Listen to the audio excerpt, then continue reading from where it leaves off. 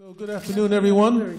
And uh, on this uh, rainy afternoon, uh, thank you for coming to this event entitled Legal Strategies for Fighting Back, a conversation with top immigration lawyers.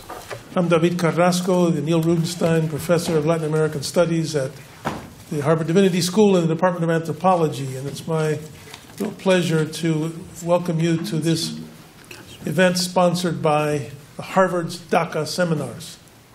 The Harvard DACA seminar works to open up spaces of learning and dialogue to our campus and the larger community around questions related to the termination of DACA and TPS, deportations, the current state of immigration policy and practice, and its implications for young people, their families, and communities. The DACA seminar at Harvard sees this wind down period of DACA as a window through which to discuss not only DACA, but also a host of immigration related issues that impact a wide range of the American public. My way of saying that is we're trying to help the new demography become a better democracy. And leading the conversation today um, in this event is uh, Christine Desan. Now, let me also say that this project is, um, has a list of supporters, including the Harvard Graduate School of Education, Inequality in America Initiative, Harvard University's um, Faculty of Arts and Sciences, the Committee on Ethnicity, Race, uh, uh, Migration and Rights, the Charles Warren Center for Studies in American History, American Act on a Dream and Define America. Professor Christine Desan, who's going to be leading this event, is the co founder of Harvard's program on the study of capitalism. She teaches about the international monetary system, constitutional law of money, constitutional history, political economy, and legal theory. Her work brings together classes, resources, research funds, and advising aimed at exploring these topics. With its co director, Professor Sven Beckert from History, she's taught the program's anchoring research seminar, the Workshop on Political Economy of Modern Capitalism. Since 2005, her research, her research explores money as a legal and political project with an approach that aims to open economic orthodoxy to question, particularly insofar as it assumes money as a neutral instrument and markets as autonomous phenomena. She's recently published a book, I love this title, Making Money, Coin Currency and the Coming of Capitalism. She's on the board of the Institute of Global Law and Policy, is a faculty member in the program on American Studies, and I like this fact as well. In Brookline, Massachusetts, she served for 10 years on a town committee that researched and drafted legislation promoting campaign finance reform and that supervised that reform once it was enacted. So please welcome Christine Desan and this wonderful panel.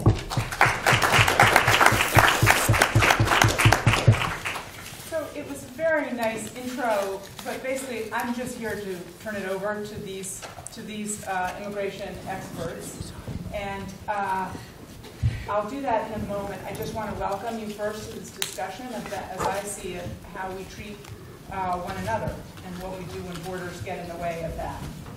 A, a, word about the way that we've structured this discussion. What we hope to do is um, Dan is going to, uh, whom I'll introduce, Dan is going to talk briefly, uh, give us an overview of the area and um, help us think about the large issues that are really structuring issues of executive and democratic power um, and authority and decision making that are structuring this area. Then we'll turn to Mike Wishnie, who will talk about DACA in a little bit more detail. And then we'll talk uh, to Sabi, who will give us some information about TPS. And then Debbie Anker will, uh, will anchor, as it were, the session, uh, talking about enforcement issues. So let me tell you a little bit about these people. They are basically all my heroes, and uh, so I'm not going to take much time from their airtime. Dan Kanstroom is a professor of law uh, at Boston College, at the Center of Human, Human uh, Boston College Center for Human Rights and International Justice. He teaches immigration and refugee law, international human rights law, constitutional law, administrative law, and international human rights. He was the founder of the Boston College Immigration and Asylum Clinic, and students there represent uh, indigent non- uh, non-citizens and asylum seekers. Together with his students, he has won many high-profile immigration and asylum cases and provided counsel for hundreds of clients for more than a decade. His current project is the Post Deportation Human Rights Project, which tries to conceptualize and develop a new field of law while representing U.S. deportees abroad and undertaking empirical study uh, of the effects of deportation. And my understanding, he's just returned from one such trip. Uh, Mike Wishnie will, uh, will follow, and as I said, talk a bit about DACA more specifically. He's the William O. Douglas Clinical Professor of Law and counselor to the Dean at Yale Law School. His teaching, scholarship, and law practice have focused on immigration, labor, and employment. Uh, for years, he and his students have represented low wage workers, immigrants, and veterans in federal, state, and administrative legislation, litigation. Excuse me. Then we'll turn to Sebi, Sabrineh Ardalan, uh, the assistant director of the Harvard Immigration and Refugee Clinical Program. At the clinic, Sebi supervises and trains law students working on applications for asylum and other humanitarian protections. Uh, she works also on appellate litigation and policy advocacy and has authored amicus briefs submitted to the Board of Immigration Appeals, as well as the federal district courts and circuit courts of appeals, all with cutting edge, uh, on cutting edge issues in U.S. asylum law. Debbie Anker is the clinical professor of law and founder and director of Harvard Law School's Immigration and Refugee Clinical Program. She's taught law school law students at Harvard for more than 30 years.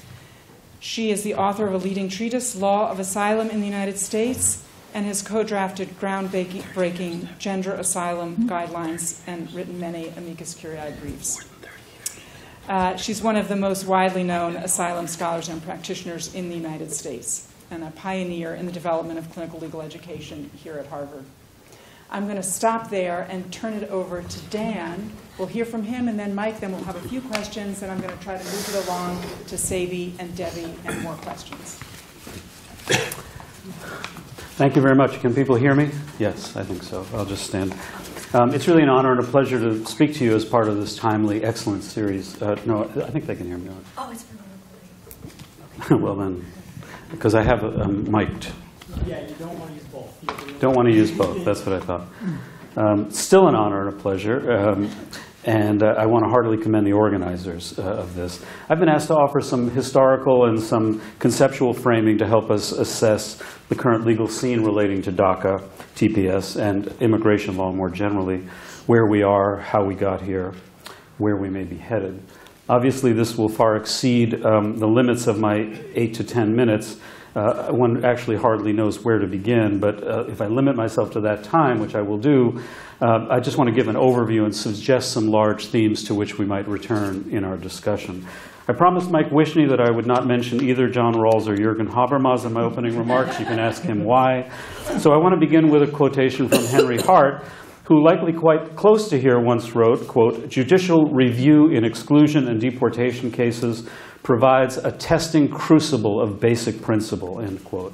And I, I, hope that we may consider today how that testing crucible is actually working and whom it is testing. To put it most simply, I believe that we now face a tectonic moment in the political legal history of immigration and constitutional law. This is a moment that demands sharp critical analysis, detailed empirical study, creative, energetic scholarship, and lawyering that combines effectively with political activism, thoughtful and principled judging, and most fundamentally, a serious reconsideration of first principles. I would suggest that to understand the current litigation landscape regarding DACA, TPS, and other aspects of immigration law, we need to situate those cases against a broader backdrop. So let me start with a brief overview of some types of cases that are percolating throughout the legal system. I think our current chapter is best understood by focusing on a few fairly recent and quite dramatic doctrinal developments since the Bush and Obama administrations that reflect potential and, in some cases, actual reconceptualizations of legal doctrine and of the proper and necessary judicial role. On the constitutional front, for example, in 2010, Padilla versus Kentucky called into question a longstanding doctrine that deportation is not punishment for constitutional purposes. This has enormous potential implications that are still being explored.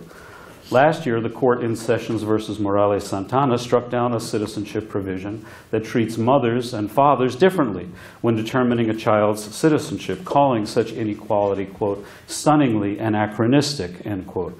This is a framing that I think could apply to much immigration law doctrine, as many in this room know.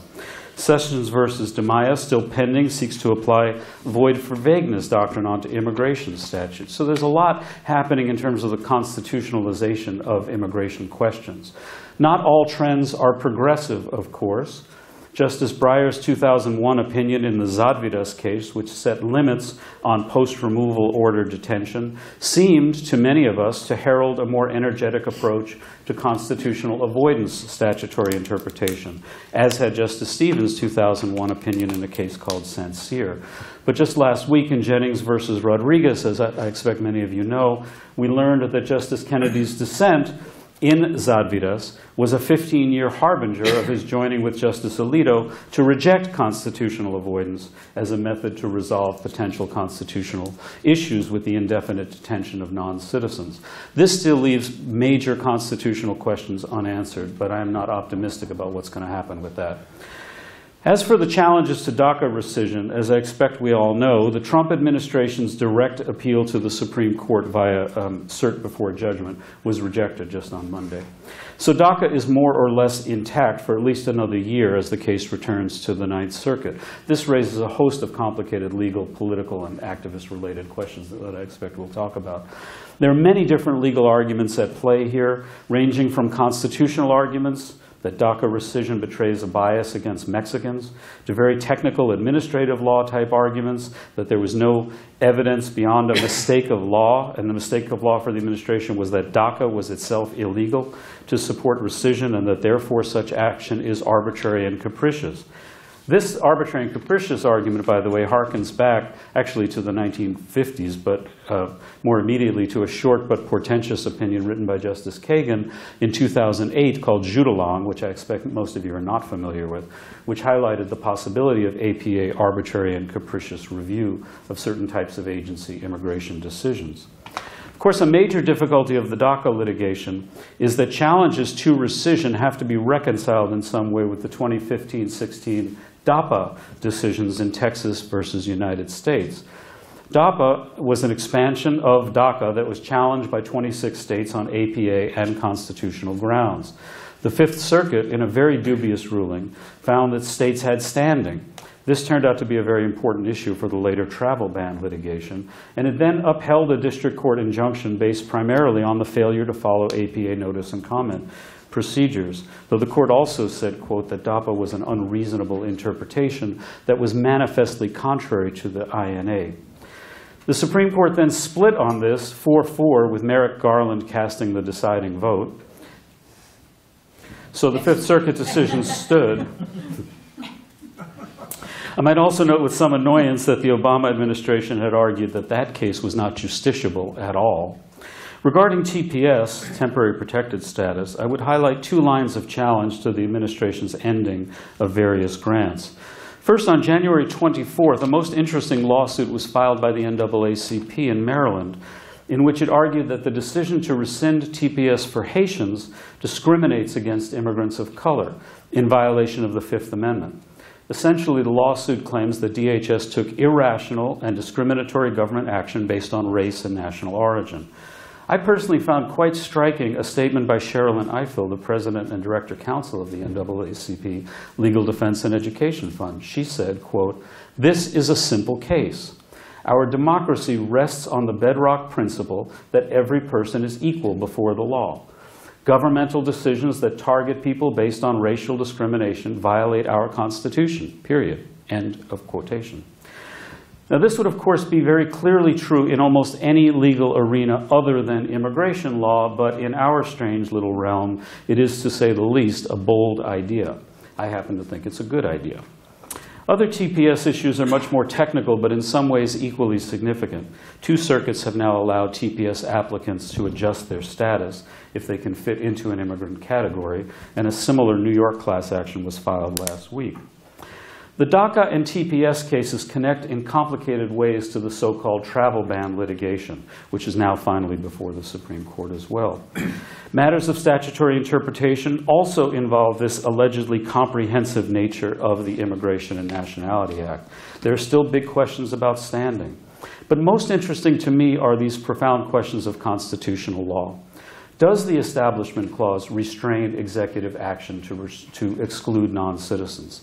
If so, what are the implications for other aspects of statutory im- immigration law that exclude anarchists, socialists, and various other people? How should we understand the 2015 court decision in Kerry versus Din, which seemed to reject constitutional analysis abroad? What are the implications for due process and equal protection arguments at or near the border? What is the current understanding of the facially legitimate and bona fide test enunciated in the Nixon administration case of Kleindienst versus Mandel? What might a constitutional victory mean for challenges to expanded expedited removal, and so on? Finally, let me mention a few seemingly esoteric issues. Judges have become, in my opinion, more energetic than usual in slowing the gears of the deportation machine. I call this monkey wrench judging, but I'm sure better terms are available. One judge in New York, and I don't mean anything pejorative by monkey wrench, by the way, that just means throwing a, you know, a wrench into the gears of the machine. One judge in New York wrote recently of a quote, right to say goodbye, end quote. Judge Saris in Boston recently recognized that post departure motions to reopen may constitute irreparable harm, and she granted a preliminary injunction in a case involving the rather summary and cynical removal of a group of Indonesian Christians, in which I submitted an expert witness affidavit. All of this, I think, demands confrontation with some very basic political legal questions. Are we or are we not a nation of immigrants? Now, this may seem abstract to the point of banality, but I still think it's crucial. And I will add, so does the Trump administration, apparently, as just last week, USCIS changed its mission statement by replacing the phrase, quote, USCIS secures America's promise as a nation of immigrants, unquote, with, quote, USCIS administers the nation's lawful immigration system while protecting Americans, securing the homeland, and honoring our values, end quote. I hope the difference here is obvious to you. It matters, I think, for reasons that go far beyond the rhetorical. It implicates the agency's understanding of its role and how it will interpret the statutes. But it also reflects our deepest commitments to equality, to diversity, to social dynamism, to human rights, to family unity, to refugee protections, and so on. So, to understand current legal trends, we must recognize that immigration law remains a work in progress, in which the very existence and the boundaries of constitutional rights are still in many ways undetermined. Precedents from the 19th century and the McCarthy era are still routinely cited. But we still, it seems to me that the Trump administration understands this quite well. We therefore live in a time when technical legal arguments play an unusually large role in political and ideological struggles. We pay, face a particularly cynical and brutal assault on the rights of non citizens through the harsh expansion of an exclusion and deportation system that was already oppressive by any normative, comparative, or historical measure. I personally believe deeply that it's my job and my responsibility to protect people as best I can from all of this. This is a moral imperative, but it's also a pragmatic legal imperative. Put simply, our task is not one of charity or protection, it's one of solidarity, progressive advancement, and preservation. This is the essence of Hart's testing crucible. It's our task to figure out how to pass this historic test. Thank you.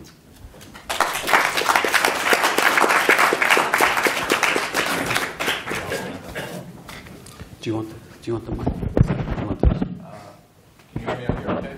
Is there a mic up here? I can also just holler. Can you hear me okay in the back? What's that? Here. Uh, let me take this if that's all right. Thanks. Thank you. Can you hear that? You're good. Okay.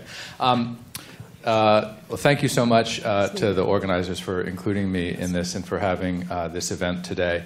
Um, maybe I'll uh, pick up with some of Dan's remarks, starting with Habermas.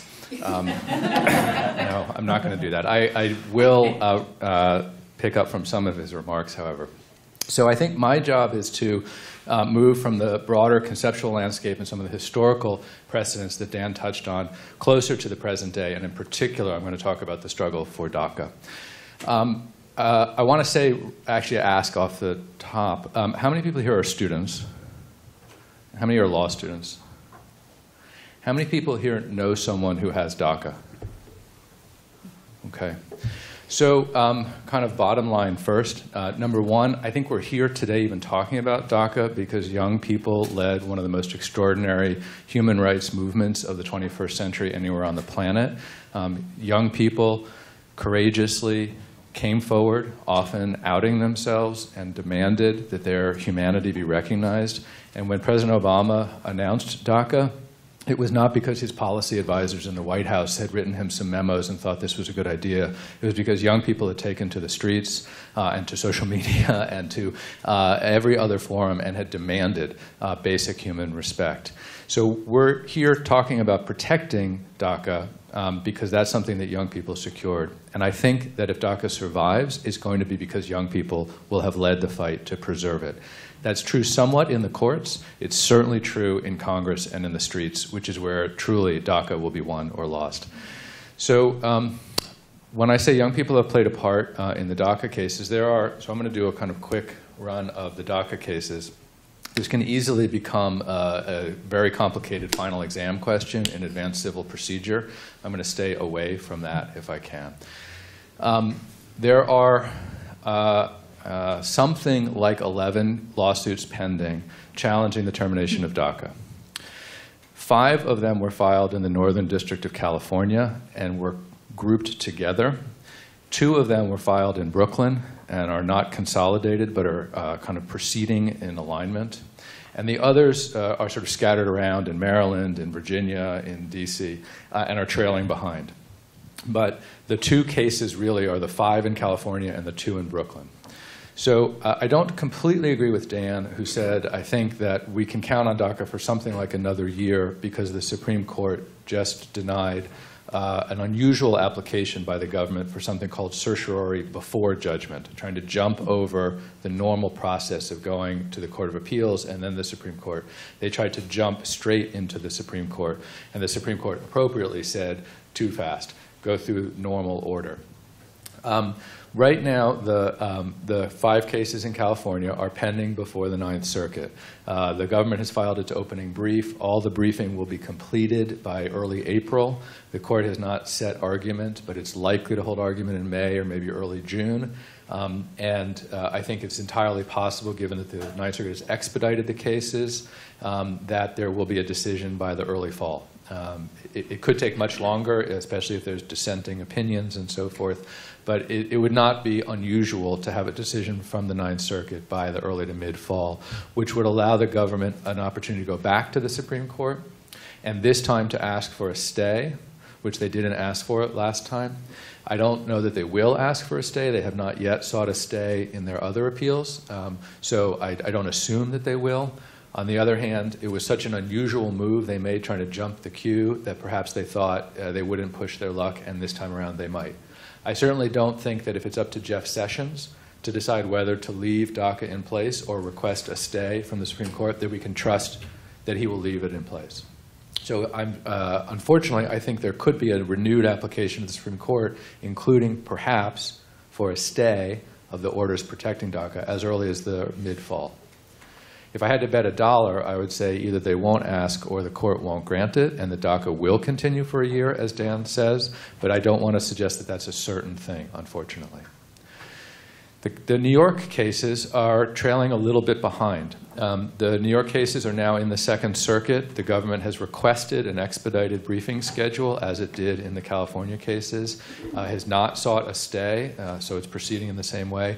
The court has not yet set a schedule, um, but there is uh, no possibility that we will be uh, finished with briefing by early April, uh, and so probably the New York cases are a couple months behind the California cases, at least through the briefing and argument part.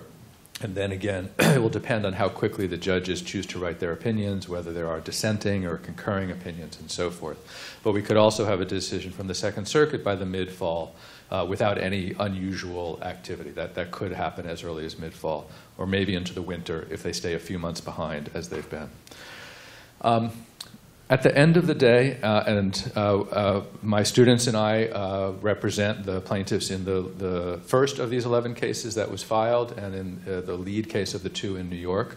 Um, uh, we have acknowledged, as all the lawyers and all the parties have, that the president has the power to terminate DACA.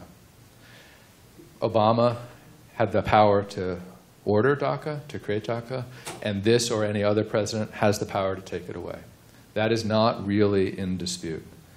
At some level, all of these cases are efforts to buy time, to point out procedural deficiencies, as Dan said, in the way DACA was terminated, or maybe the reasons for which it was terminated, so as to preserve DACA as long as possible.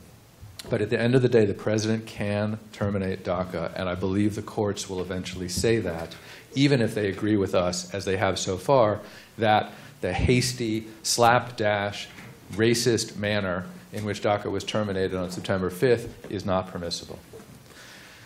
So, this brings me back to my first point. If DACA survives, it will be because young people and their allies have demanded that Congress reestablish it a, a, on a firmer foundation, a statutory basis, or that the pressure from the movement in the streets will somehow persuade those in the administration to, to drag it out a little longer.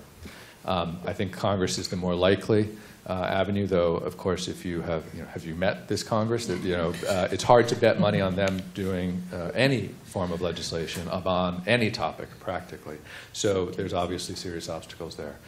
Uh, my students and I also represent United We Dream, which is the national organization of uh, dreamer organizations, the National Immigrant Youth Network. And so we've spent a lot of time in Washington with uh, legislative staff and legislators and, and, been very much involved in uh, fighting off amendments, drafting bills, trying to work that. And so I have no illusions about the difficulties of making any progress there. Uh, that said, I think I'm slightly more optimistic perhaps than maybe Dan implied um, the uh, Common Sense Coalition compromise that failed uh, had 54 votes. It was trying to get to 60. Uh, but there were three Democrats who voted against it who would have voted for it if their votes were necessary. And John McCain would have voted for it if he had been in D.C. He was in Arizona getting treatment. So actually, there were 58 votes for that compromise. Um, that's not that far from 60. It's hard to know where those last two come from, but it's not so far off, actually. The House is another matter. Um, okay, so just for um, a couple of minutes, um, uh, I thought I would take you inside. I've lost track a little bit because Dan went for like 20 minutes or something. That is not true. Solid 14 and a half. Two minutes. Two minutes. Okay, so um, uh, I do think, uh, as I said, that young people have led this movement, and in part they've led it in court. So I want to just take you briefly inside uh, the case that we've been a part of. So um, in the summer of 2016, when the Supreme Court surprised most people by going 4 4 uh, and affirming the Texas injunction by an equally divided court, surprised because um, after Scalia died, uh, the court um, uh, uh issued quick orders in several cases where they were split 4-4, but they didn't do that in the Texas case, which led most Supreme Court observers to predict, oh, so there must actually be an opinion coming, because it's not like those other cases that quickly got spit out 4-4. So end of June, when the Supreme Court issues its final decisions of the term, people thought there would be a 5-3 victory, because it was improbable that the four center-left folks would vote uh, against. So there was real surprise when it came out 4-4, leaving the Texas injunction in place. And real, uh, I still remember the, the lead organizer for UWD calling me that morning, uh, uh, sobbing in tears. She was headed into the White House to meet with Obama personally and, and other activists to plan next steps. It was such a punch in the gut. And I'm sure many of you know that and experienced something like that yourself. Um, people began calling us at the clinic at Yale um, and they said, I remember a year ago when we were feeling stuck under the Fifth Circuit injunction, and there was a fear that it wouldn't get to the Supreme Court in time to be reversed. The court in the Fifth Circuit was slow walking the decision. And um, you guys were trying to come up with some theories of attacking the Fifth Circuit uh, decision sideways, rather than up through the normal appeals channel. And we all thought those were terrible ideas, and they were totally wrong, and they had no basis in law. Um, but now it's the summer of 16, and no one has any less bad ideas than your terrible ideas. So, what were your terrible ideas again? How is it that we could attack sideways on this nationwide injunction in Internet of Texas? And, and it's true, the students had developed some theories that the Texas injunction did not properly bind the entire nation uh, and certainly could not bind other federal courts in all circumstances. We showed our research again, and again, people said, that's really hard. Uh, and in fact, a number of national organizations who won't be named um, said, we're not going to get in on that case with you because that's sort of too weak. But we thought the least we could do was try in a small way to match the courage of our clients who had risked so much in fighting. And so we went into court. We filed a lawsuit in the summer of 16 in Brooklyn, and we drew Judge Garaufis. And we went in for a quick status conference. The student did it, Will Bloom, and we wanted to take the temperature of the judge. And the Department of Justice stood up and said, Judge, we're bound by this injunction. We can't do anything. We are stuck. Uh, how can you order us to open a program up that we've been ordered to close down? And he turned to Will, whose knees were shaking a little bit, and Will gave our best answer. And then the judge looked back at the government and he said, You know, I don't really know what that erudite jurist in Texas is up to, but you can tell him I am not marching in his Texas parade. I've got a man, Martin Batalla Vidal, sitting in my courtroom. He claims he has rights. I'm a judge in Brooklyn. I'm going to decide his rights. Well, that case got stayed. Uh, we slowed it down after the election, surprised everybody. But it, we then amended that case two hours after Jeff Sessions concluded his announcement and went back to Judge Garaufis. And since then, the students, with our co counsel, have argued, have been in court on every hearing, um, have negotiated with the government, and have secured the preliminary injunction that is the second nationwide injunction that now protects DACA. Um, and whatever happens in the California cases, we will continue to move forward in those cases. And that is a litigation that is led by the students uh, and is being conducted by the students. And it's just one more small example of the way, uh, if we are saved, it will be by you. Thank you. So I would like to just uh, give the audience a chance to get like two questions in, then we'll keep going, but I don't want it just to be the panel. Two questions. Anybody have a question that they want to interject at the moment? Or you want us to keep going? I have a quick question that I'll interject, and then maybe we'll go back if nobody is going to pipe up. And here's my question. My question is to Dan and Mike. Could the administration and is the administration working on a rescission, uh, a parallel rescission while the litigation proceeds? That is to say, why not, if they have authority to do it, why aren't they doing it now, to have the process going, come up with a better reason than that it was initially illegal, that the mm-hmm. executive authority was illegal? I wondered about that myself, but I think it's similar to the travel ban litigation. Once you demonstrate a certain level of incompetence, and in, in a lot of ways they didn't have to go and make the mm-hmm. assertion that DACA was illegal, which was sort of an open invitation to this uh, arbitrary and capricious thing. It's tough to walk that back now because now it all looks like a post hoc rationalization. So I think it's going to be kind of tricky to, to deal with that, but um, I'll defer to Mike, who's much more engaged in this case. Uh, yeah, I don't have any insight. The Trump administration doesn't talk to me, um, uh, except through court. Um, so I don't know if they're planning something. But um, not all of the claims depend on the quality of the reasons given. Um, so the California judge and the Brooklyn judge enjoined DACA termination on the uh, arbitrary and capricious grounds under the APA. Uh, the California judge dismissed, but the Brooklyn judge has not dismissed a second uh, Administrative Procedure Act claim, which is that the termination of DACA requires notice and comment rulemaking, which is a slower process and cannot be done overnight, even though our position is that the original DACA did not require notice and comment because it merely created authority. But this is a binding rule that forbids the exercise of authority in all sorts of very specific ways. So um, the California judge, as I said, has rejected the notice and comment claim. Uh, the, that is still alive uh, in Brooklyn, and so if that stays alive, that is an independent basis. That a, a simply rewriting the reasons would not be enough. Mm-hmm. There are also the equal protection claims that were alluded to, uh, and we, uh, not in the uh, California cases, but we also have procedural due process claims that are pending in Brooklyn and have not been dismissed. So there are uh, other ways in, even if they were this afternoon, to say, never mind, we've now, instead of a two-page memo, we've now got a 20-page memo with a lot more footnotes. It's really reasoned now. Let me add one more thing, which is political. It's not as obvious to me that Trump personally is as enthusiastic about ending, repealing DACA at the moment as he was before. I think it connects to this comprehensive immigration reform strategy. I think Jeff Sessions still wants to do it, but I'm not sure that they're on speaking terms, so it may be hard to coordinate. Great. Okay, yeah. Um, Just, uh, my first question goes into um, uh, the pressure that Trump administration have been putting on immigration judges to, um, repeat, repeat that. Uh, My first question goes into the uh, due process question, meaning that the Trump administration have been putting pressure on immigration judges to um, uh, give uh, orders out as fast as they can so they can adjudicate more and more cases, and the pressures uh, are too high that it seems like there are semi-quotas on these judges to get as many people out on, on the proceeding. Um, and the, the question is, if I, am I asking this too early? Because maybe they want to talk. it's- No, no, I was was just- just going to say, we should bridge to the other two speakers Yeah, on this. yeah. Just go So, so my ahead question is, how, questions. It'll be how, how do you think that we could uh, protect immigration courts uh, from encroachment of the executive branch, although they're not an Article One um, uh, court yet, but uh, still this encroachment uh, is totally against the due process uh, clause. And um, I, I have a comment about uh, uh, getting people um, out there and the young people. I totally agree with you. I'm, um, uh, I'm from Washington, D.C., and um, I'm an attorney there. I work there.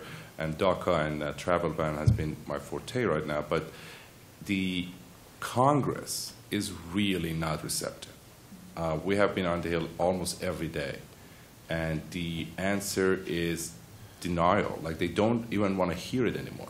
Some Democrats are, and a big majority of Democrats actually are, but I don't want to make it a bipartisan thing. Congress is not receptive, and the administration is counting on that. How do you go against that? How do you change that besides waiting for 2018 elections? So do you want to respond briefly to that, or should we go to Debbie? Uh, I'll just say very last, briefly on the yeah, Congress thing. So Congress. uh, I agree, the House is, a uh, there's, it's very hard. Everything is very hard. Um, But um, I, I'm a tiny bit more optimistic, actually, about the congressional solution. I, I think that the Senate is really starting to show a tiny bit of independence from the White House. They ignored them in the budget process, they ignored them in the DACA stuff. And if that holds together, that, that could shift things a little bit. But we have no choice. We have to keep going in Congress, and we have to win in 2018. We're going to go to, to answer your first question about enforcement questions, is really something that Debbie's thought and worked a lot on. So she's going to go ahead and do her, you know, make her comment now on that and, uh, and the wider field.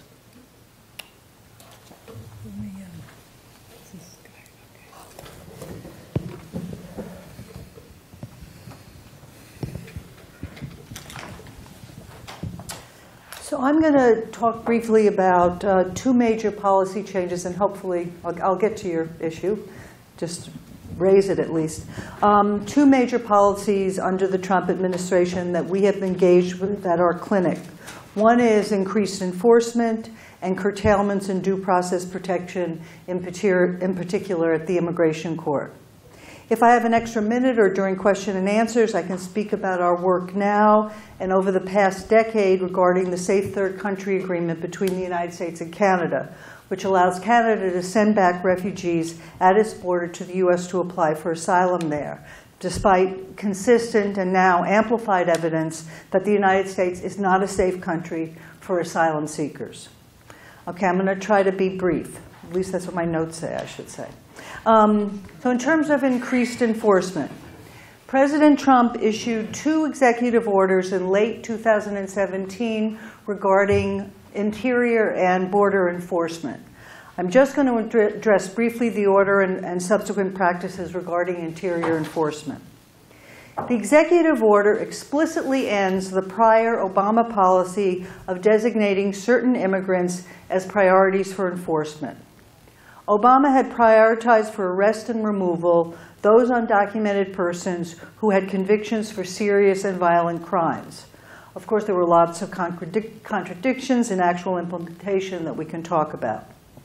This system meant that those who were not priorities were shielded from removal by various exercises of discretion and pr prosecutorial discretion, various forms of stays on their prior orders of removal, which I'll get into a bit. Trump's executive order explicitly ends the priority system so that all undocumented persons are subject to removal. The executive order also commands prosecution, detention, and removal as criminals of all undocumented persons. Technically, under U.S. law, unauthorized entry and reentry are federal crimes. So everyone undocumented, at least persons who, uh, who, who cross the, the U.S. the southern border, um, technically under U.S. law, entry and reentry are federal crimes. So everyone who entered the country crossed that border, including those previously explicitly allowed to stay under the priority system, is subject to these new policies of prosecution, detention, and removal.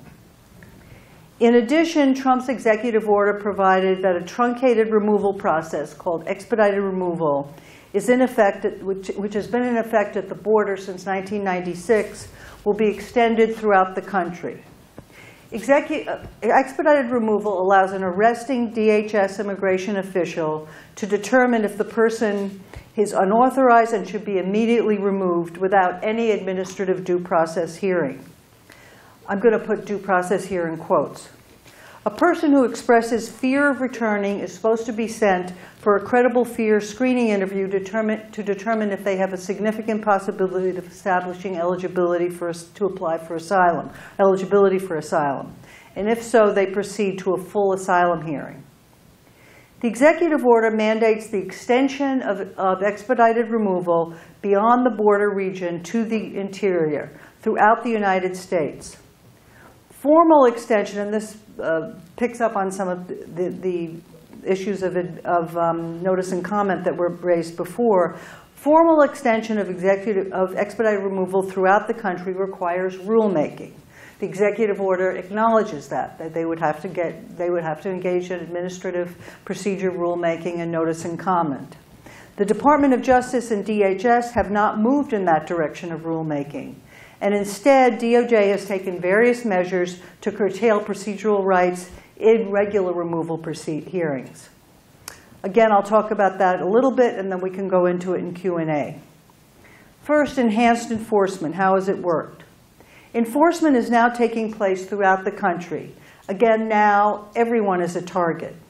Priorities, or the non-priority system for removal, are now being established by individual ICE officers and, office, and officers. ICE officers say, finally, our shackles are off. Um, so what are the practices? In many respects, the practices now is going after low, low-hanging fruit. Orders of supervision and check-ins. Over the years, and especially during Obama's last term, persons formally ordered removed, but not priorities for removal, were given what are called orders of supervision. Such persons would be given stays on removal and required to report to ICE for regular check-ins, often annual check-ins, and the stays on their removal would be extended, and they could get work authorization. All of a sudden, under the Trump administration, these stays were not extended or they were suddenly lifted. We have clients who showed up for these check-ins, which they have been doing for years, and were immediately detained for removal on the next flight. We had a client, uh, we, we, we were helping um, Catholic Charities in New York um, in a case involving an Indonesian Christian um, man who had been in the country for 10 years. He had four U.S. citizen children, one of whom had Down syndrome. He was the only one available for, his, uh, for their support. Um, he, he didn't even have a traffic, viol- tra- traffic ticket in his record. He was like the most squeaky clean person on earth. Um, he goes in for his annual check-in. He's immediately detained for, for removal, for, for literally to be put on a flight to Indonesia. And of course, this raises also these asylum issues of people, uh, Indonesian uh, Christians, and and the escalating persecution of them um, in Indonesia. He, he wouldn't get off the floor when he was, uh, he was, um, he got down on the floor. They tried to pick him up. He got injuries. He had to be hospitalized.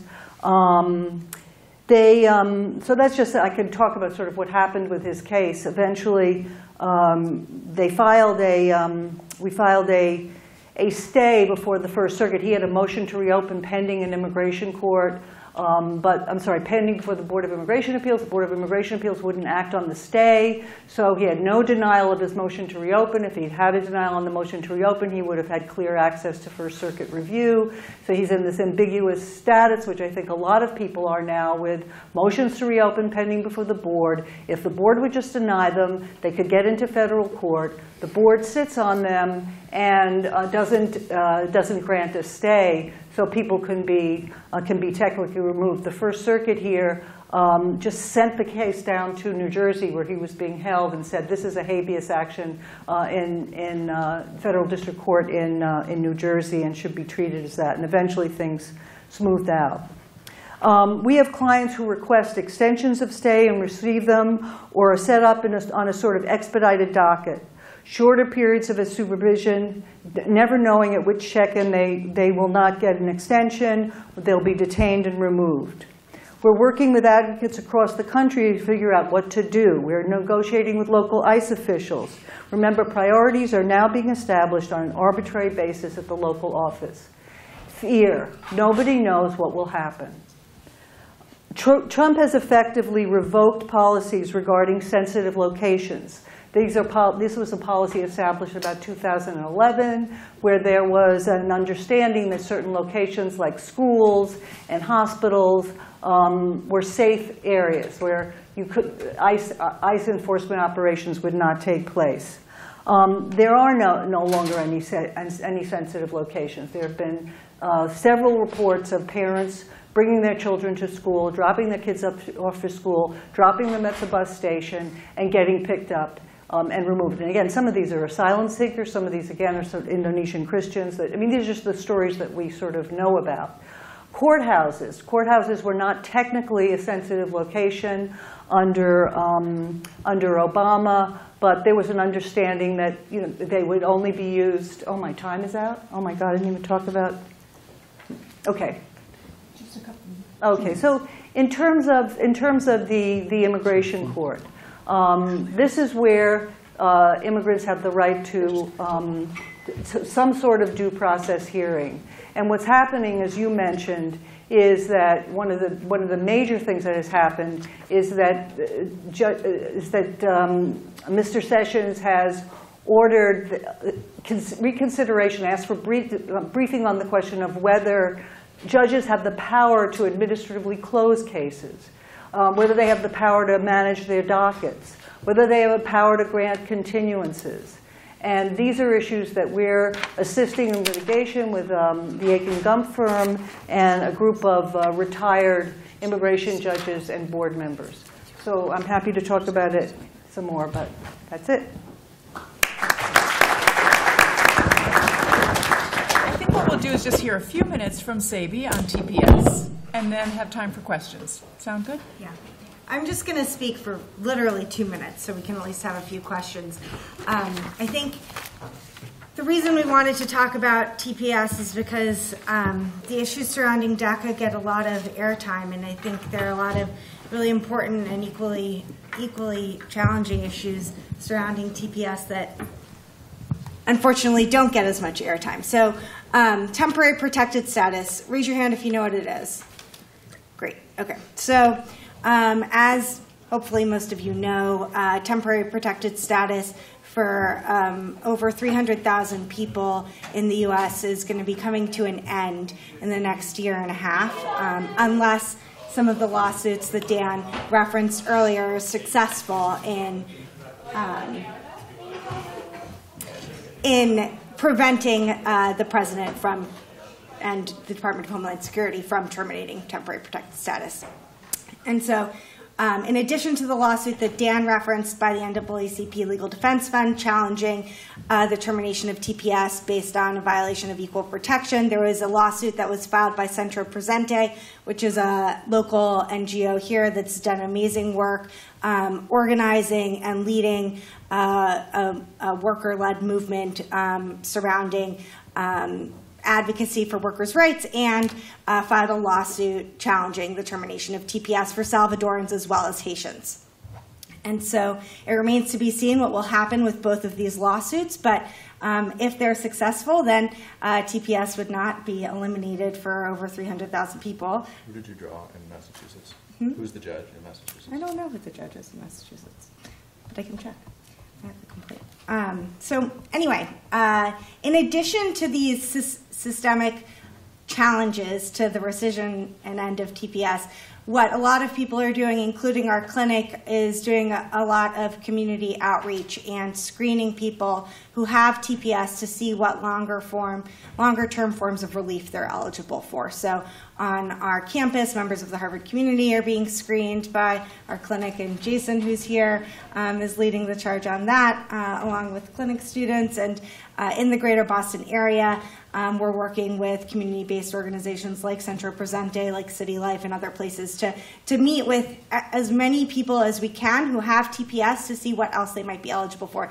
And oftentimes, because people with TPS on average have lived here in the U.S. for uh, 15 years, 20 years, um, and have never had to question the work authorization and the right to remain here that TPS gave them, they haven't had a chance to do a consultation with a lawyer because it just wasn't something that seemed necessary. Um, and so as we talk to people, it, it becomes clear that a lot of people do have longer term forms of relief available to them, either through their family members or because of their fears of return to their home country or because of things that have happened to them during their 20 years here in the U.S. that would provide them with a pathway to getting a green card. Um, and so I think the advocacy efforts and um, and all of the work that organizations like Centro and others are doing um, are leading the charge and hopefully um, encouraging people to do those kinds of consultations. Great. So questions from the audience? We can get the mic to you.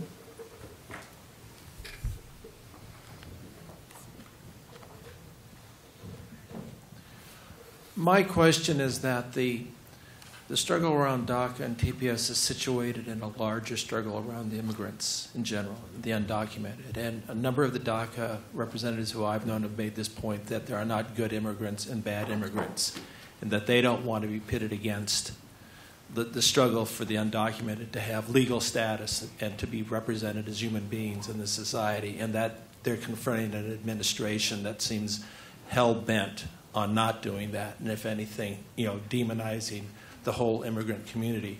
How do you deal with that? I mean, uh, you know, within the specifics of like the, the legal battles that you're involved in, how do you actually handle that? Because it seems like most recently there was a whole effort to pit DACA against the rest of the undocumented community and say, hold them hostage and say, well, we'll give you this, but in turn of that, you're going to have to uh, agree to uh, an incredible number of immoral acts. So I was just wondering how you respond to that or deal with that in your work. Well, I would just begin by saying I think it's an incredibly important problem, and there's a political aspect to it and there's a doctrinal aspect to it. And doctrinally, one of the things that I like about some of the theories is that they're not based on that particular bifurcation. I think the Obama administration made a terrible error in saying things like we're focusing on felons, not families, as if it was somehow legitimate to focus on people who committed crimes or as if they didn't have families. You know, that whole framing has been very pernicious. Some of the value of these technical arguments is that they don't depend on that particular framing, and that's a value of arbitrary and capricious analysis, proportionality analysis. A lot of the administrative law theories relate to forcing the government to do its job. But politically, I agree it's a deep problem, and now that the pressure is sort of off, the idea of DACA being the tip of the spear on a broader, comprehensive movement is very problematic anyway. But I think that was always problematic as a framing. I would add that uh, my experience with movement leaders is that they are extraordinarily sophisticated about this, um, very thoughtful, and uh, very clear that they will not be bargaining chips uh, as to their parents, uh, and they were not something to be traded around. At the same time, in my experience, the movement leaders are very practical and uh, have a kind of a situational awareness, by which I mean in, your, in court, arguments are somewhat constrained by rules of evidence and procedure and so forth, and individual clients have a lawyer who is obliged to fight as hard as they can for that client in whatever way possible, and that's what we all do in all of our individual cases. In a legislature, whether it's Congress or whether it's the, the state legislature or city, Boston City Council on some local policy, Um, The rule, there are rules there too, but they're generally more flexible and don't constrain in the same ways. But political compromise is often required to make progress. And um, my sense is that people are well aware of that too. And I- the last thing I'll say is that, um, two quick things. Um, The, I think there's a generational um, uh, uh, situation going on in which the folks who are like me and Dan and Debbie, old enough to remember the legislative debate in 2006, 7, and in 2013, where really bad deals kept getting worse and worse and worse, and eventually labor unions and immigrant rights groups and Latino organizations and religious groups said, this is too bad a deal, we, we have to walk away, and they went down. And some of us are haunted by like, that was true, that analysis was great, those were terrible deals. But it's 10 years, and millions of people would have benefited from those terrible deals. And so I think there is a, I have the impression that the generation who's been through these battles is a little bit more like, if we just say no now to a terrible deal, it could be another five years, 10 years, we have to do something. And, um, and younger uh, leaders uh, are more uh, principled at some level and holding out longer against bad deals, which is not a bad bargaining strategy, uh, I will say as a lawyer. Uh, One other little thing. I don't think even in litigation you have to do what uh, we call poster child litigation. Dan mentioned the Jennings case, a terrible decision last week by the Supreme Court. Uh, our clinic represents the, the class of long-term detainees like Jennings here in New England, in the state of Massachusetts. All New England detainees are basically, just about all are in Massachusetts. We represent the class of long-term detainees seeking bond hearings. It's the same issue, it's the same case. We filed that case for one person. He was just the second client we had in that situation. He has an extensive criminal history, close to 30 convictions. Not all minor, nonviolent offenses. We took our client as we found him. He was illegally detained. We went to court. Lots of lawyers would have said, great issue, wrong client, hold out, screen. We thought, no, it's actually important to make his story, his life experience, as much a part of this public conversation, including in court, as that of the veteran who has never been convicted of anything and you know has worked and you know ran into buil- burning buildings and saved 20 children and, and all of those things too, which are wonderful things. But the variety of experience is not captured only in poster children. I think we can push it to one more.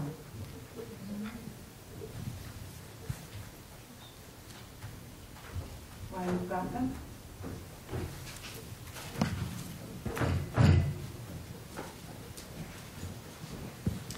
Really quickly, who and is anybody working on the conditions in the jails? I'm just saying jails and not detention centers, and the problems that detainees are facing and experiencing right now, every day. Uh, yes, but not enough people.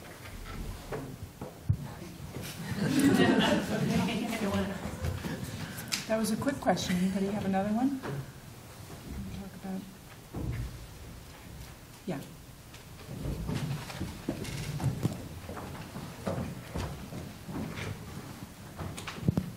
Hello.